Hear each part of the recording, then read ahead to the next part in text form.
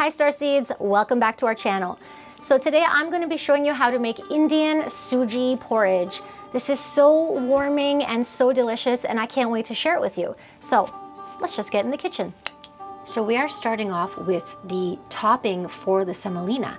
So to a frying pan, you're gonna add in one tablespoon of ghee. For my vegan friends out there, you can add in a tablespoon of Miyoko's butter or any kind of plant-based butter that you prefer. Once your ghee has melted, just give it a nice little stir. And now we're gonna add in a third cup of split cashew nuts. So we're gonna roast this on a medium flame until the cashews are nice and golden brown. So just a tip here, when you're roasting the cashews, you wanna roast those for a couple minutes and then add the raisins. If you add the raisins at the same time as the cashew nuts, then you're gonna end up burning your raisins, okay?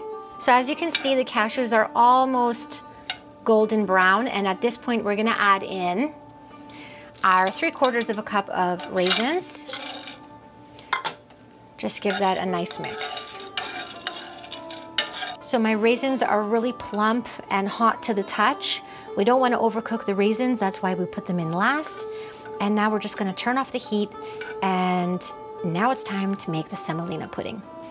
I'm just gonna place the cashew nuts and the raisins in a bowl and just set it aside until we need it. So to the same pan, now you don't have to clean the pan at all. We want a little bit of that ghee in, in this uh, step of the video. So what we're gonna do is add in a half cup of semolina and we're gonna roast the semolina. So we're dry roasting the semolina on low flame just to get rid of the rawness, which is in the semolina. So dry roasting the semolina is very important so that you can remove that raw quality to it. So you wanna dry roast the semolina for about 10 minutes. So after roasting for 10 minutes on low flame, we're just gonna place it in a bowl. And we're gonna set this aside.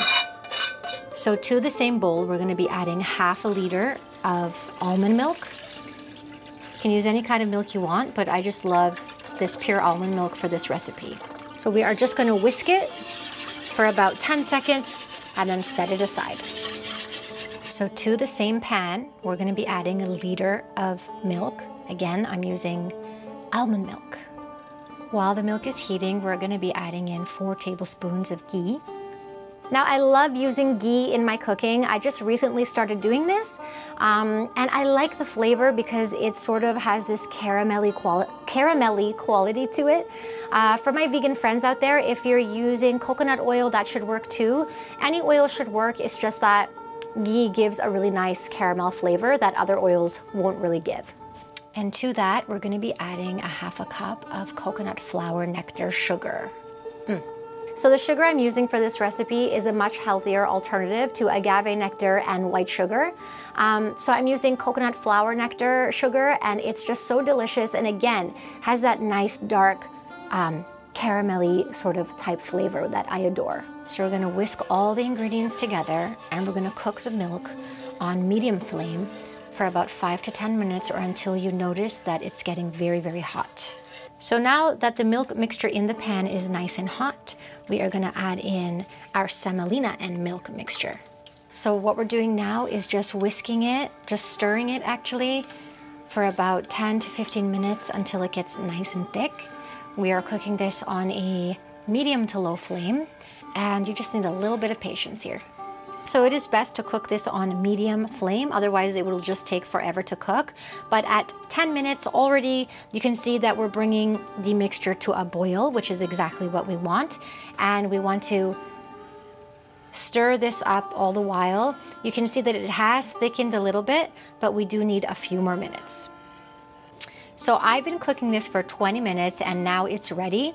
It's also been cooling for about five minutes, so you can see how it got a little bit thicker now that it's a bit cool.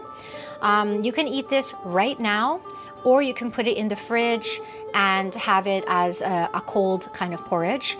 Um, and also, the time to add in your spices and your vanilla, if you wanted to, is now. Traditionally, you would add in cinnamon and cardamom. I'm not gonna add in anything because I just like it just like this. So we're finally plating our suji porridge and it looks so beautiful. Now I know I said I wasn't gonna add any cinnamon or cardamom powder, but I just can't help myself because I adore these spices. So this will just enhance the flavor of the suji. I'm just adding our roasted cashew nuts and raisins as a topping. This is optional, of course. I'm gonna try it for you. Mmm. So now that it's cooled down a little bit, it hasn't gone in the fridge yet. And if it does, it'll firm up a little bit more than how it is now. But it is sort of in a jiggly kind of consistency um, and a little bit soft on the inside. Mmm. It's got that caramelly flavor and it's very fresh tasting, if that makes any sense. I think rose water would do really well in this recipe. Mmm.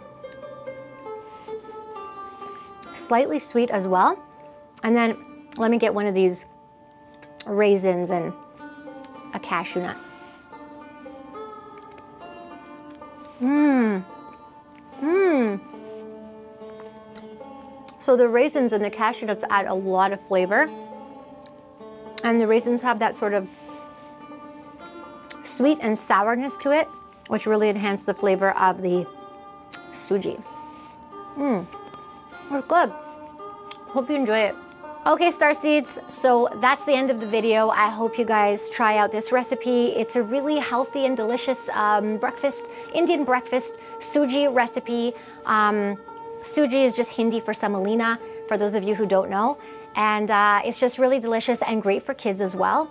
So don't forget to hit that like button. And if you like our content, do subscribe to our channel. We'll see you next time.